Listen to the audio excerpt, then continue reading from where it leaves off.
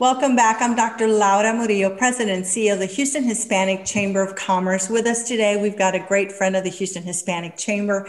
He has been so very active, very engaged, and he's met with our members and met with our board and always picks up the phone and, and makes sure that he touches base with us. And anytime we've needed to talk to him, he's made himself available. I'm talking about none other than Congressman Pete Olson. Thanks for joining us. I'm thrilled to be chatting with y'all about America's most populated and most diverse congressional district, Texas 22. Yes, so let's talk about that. Let's talk about this third quarter. Give us some good news. You know, we've got small business owners out there that need more federal funding. Give us some good news. Get some money down here in Houston. Work with your colleagues. Let's make this happen. I hear a lot of clear. As you know, we've had a rough time with COVID 19 it started in the middle of first quarter, rough quarter, second quarter is even worse.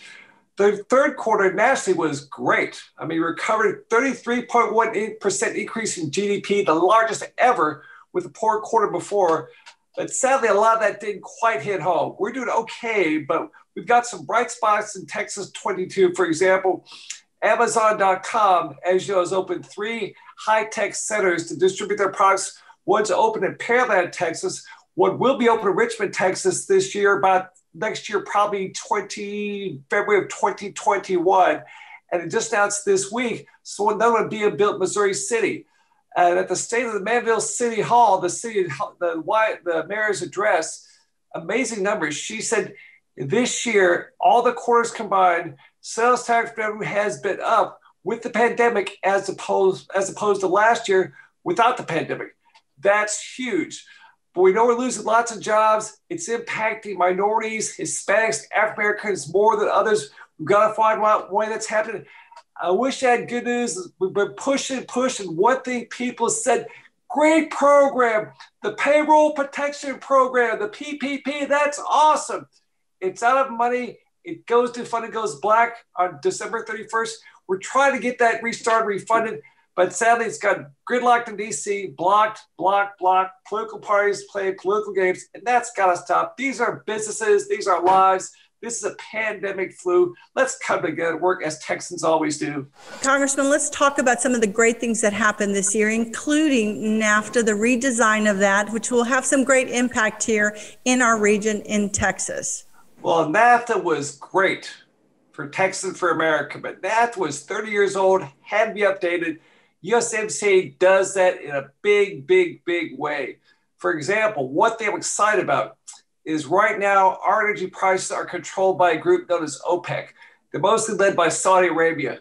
My entire lifetime, they control our price at the pump and the cost for our electricity because they control our energy. The new USMCA, for the first time ever, addresses energy between three exporting countries Mexico, Canada, and America. My vision is this USMCA will not stop there. It will make what's called, I like to call NAPEC, North American Petroleum Exporting Countries. NAPEC, NAPEC, NAPEC. We can have a global market for energy, make sure we control our prices. And that's just one aspect. But the big thing for back home is all these trade routes coming from Mexico. There are four big ports for energy, San Diego, California, and three in Texas, El Paso, Laredo, and the Rio Grande Valley. Interstate 69 is being built in the Rio Grande Valley. It comes in three places Brownsville, Harlingen, and Mission. They come together in Byfield Furious and come basically right up the, inter- the uh, Highway 59 corridor to Houston, Texas, and our great ports. They will come about a mile from my home in Chevrolet, Texas.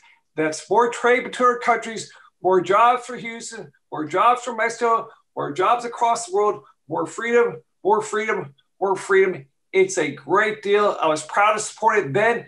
I'll always support it because, again, that's what America should do work with allies, neighbors we trust, we love, like Mexico and Canada, and make the world a better place.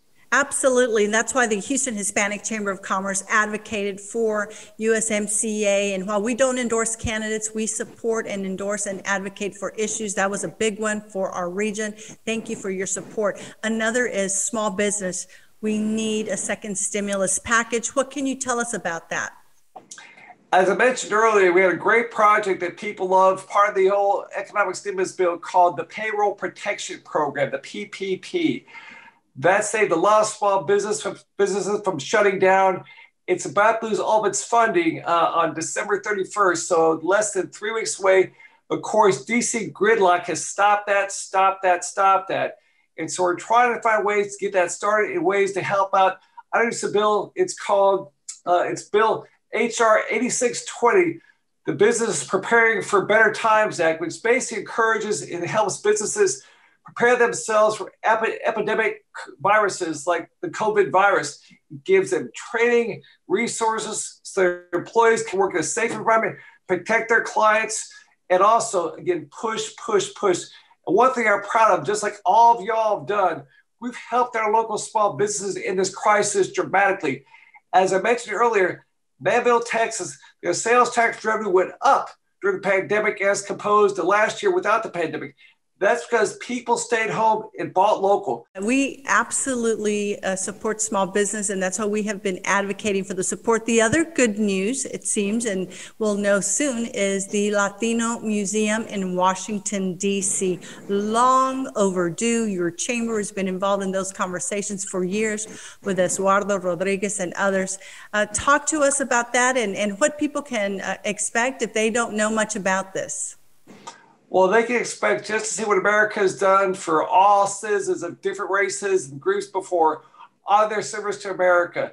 Hispanic Americans have built America in Texas since the get go. In fact, the term Hispanic comes from Hispaniola, where the Spanish conquistadors came to America. We've had them in our country since we started, and they make a great contribution. One example from Texas 22, an Army veteran from World War II named Marcario Garcia. Marcario was born in Mexico, came across legally with his family in like 1936. World War II happened. He volunteered to fight in Europe. He's pinned down there in Germany in 1944, earns America's highest award, the Medal of Honor, presented to him by Harry Truman in person in the White House in 1945. In fact, he was such a hero Mexico gave him their highest honor too. The, their biggest medal, like our Medal of Honor. One person in the world's history has won those two medals, and that's a person from Fort Bend County, Texas, Sugar Texas, Marcario Garcia. And that's just one example what Hispanics have done for America. So please, this bill, come to DC and say, I love Hispanics because they love America. They're part of our whole interwoven races, that religions that make our country so great. So I'm so thrilled, excited that will be here in DC to celebrate Hispanic heritage, not just for a month, for years and years and years until America no longer exists and God's called us all home. Well, as I like to say, as goes Hispanics, so goes Houston. Congressman, thank you for all you do. Wishing you a very happy holiday season. See you very soon.